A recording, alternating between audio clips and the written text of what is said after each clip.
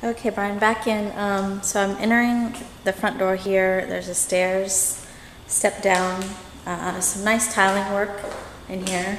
Actually, it smells like a fresh coat of paint, so you won't need to do anything. Um, this is the kitchen.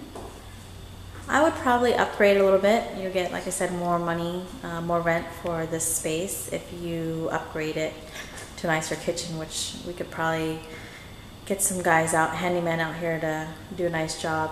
The appliances are in good shape still. And there's a dishwasher. There's also a little patio area here. Windows are older. And there's a bedroom down here, which is a plus for somebody who's renting with an older person that may need downstairs space. So that's a definite plus here. Maybe it looks like a 10 by 10.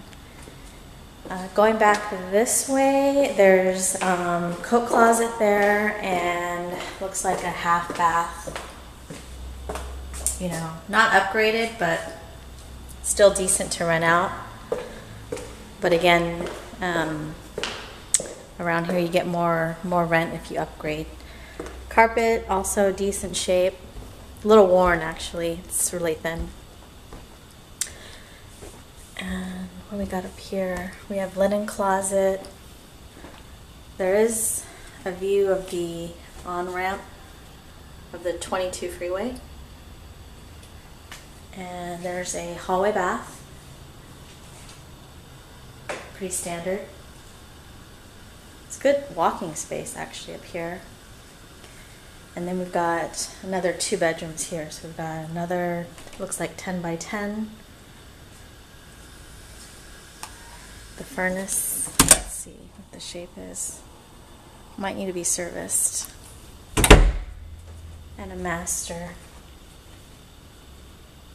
Master with a full bath. Two closet spaces. Uh, this one, the tile looks like needs to be changed. Some grouting work. The owner occupied unit is fully upgraded. We just can't see it.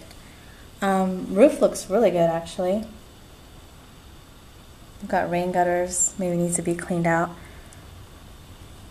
But overall, really decent, decent neighborhood. Not even, I'd, I'd say more than decent. I actually had a client that lived in this neighborhood and they, they rented in this complex for 15 years. They're still living there. So um, I'm going to take a quick walk downstairs and show you out to the patio area.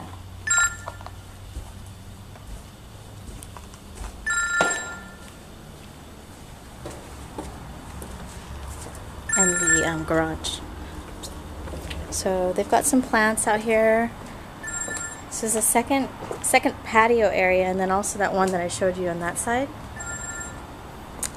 And this leads into the garage. Detached garage with a laundry laundry area. Big garage. So essentially these are two, almost like a single family residence just attached for 550